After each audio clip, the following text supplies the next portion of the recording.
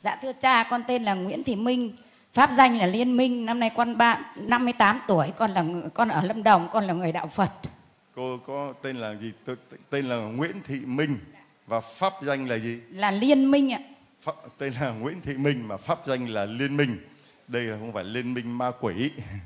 Đây là liên minh với lòng thương xót cho nên cô ấy là một người đạo Phật mà có pháp danh mà lên giữa nhà thờ để làm chứng cho lòng thương xót Chúa.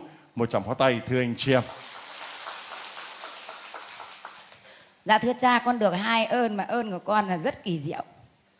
Con lên đây hôm nay là lần đầu tiên mà ừ, mà con ờ, ừ, con bị cái nang ở đầu gối với lại con thoái hóa đốt sống cổ 38 năm à, đốt sống lưng nữa. Thế con mới được cái bà hàng xóm bà ấy đi giáo điểm tin mừng về bà ấy mới cho con cái đài với cái quyển à, lòng xuân thương, thương xót Chúa. Thế con về con à, đi lên bệnh viện thì bác sĩ khám bảo con phải mổ. Thế con bảo già thì con không mổ, con chỉ có tín thác vào lòng Chúa thương xót thôi. Thế con về con chỉ à, nghe đài với con đọc kinh lúc nào con nghe, đêm con nghe đến 12 giờ đêm. Thế là tự khắc khỏi. Hallelujah. Đối với Chúa không gì là to lên. Đối với Chúa mọi sự đều. Rồi đó là ơn thứ nhất, ơn thứ hai. Đã ơn thứ hai là con bị thoái hóa đốt sống lưng 38 năm rồi con đi các nơi. Chỗ nào bảo chữa là con đi hết mà cuối cùng chả khỏi.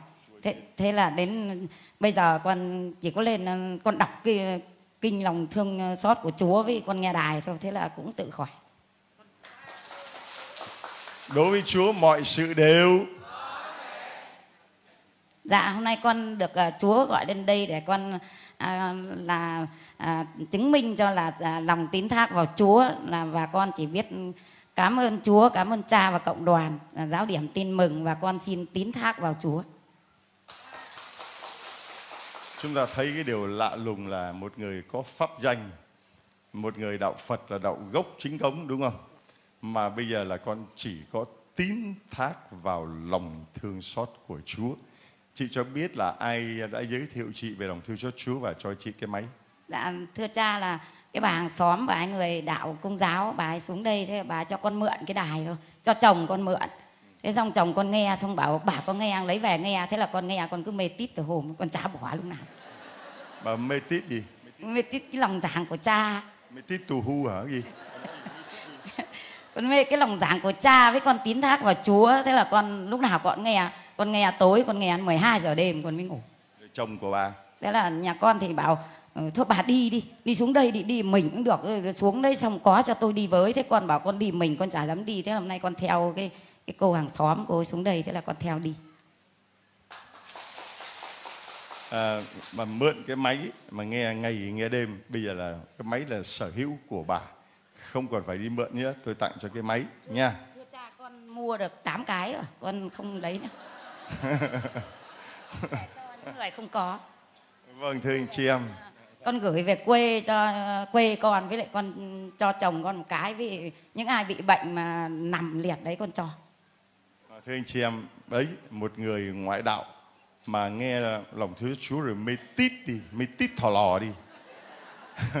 Mê tít thò lò rồi không những vậy mà còn đi mua tới 8 cái máy đi về để mà những người đau bệnh, những người không biết đến lòng Thiên Chúa thì bà ấy cho, bà ấy tặng, bà ấy biếu. Còn những người công giáo mình thì sao, thưa anh chị em?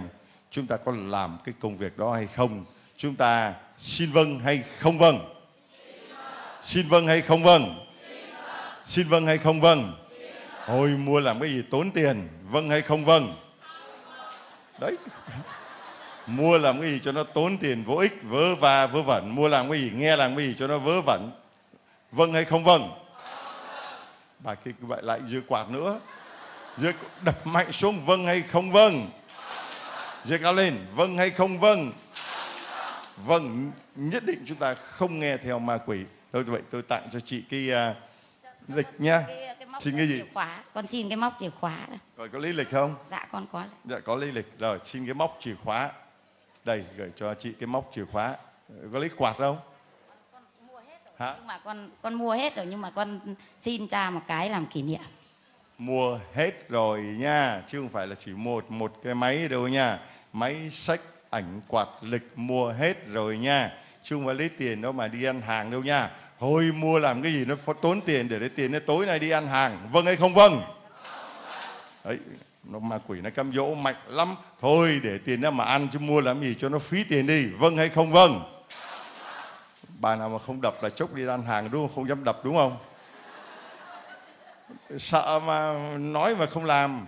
Nào bị ai hứa là không có nghe lời ma quỷ. Ma quỷ nó bảo là tốn tiền vô ích. Để tiền đó mà đi ăn, để tiền đó mà đi nhậu, để tiền đó mà đi chơi để tiền đó mà xài tội gì mà mua máy sách ảnh chuỗi quạt lịch gì cho nó phí đi vâng hay không vâng? Rồi chị vâng hay không vâng? Dạ dạ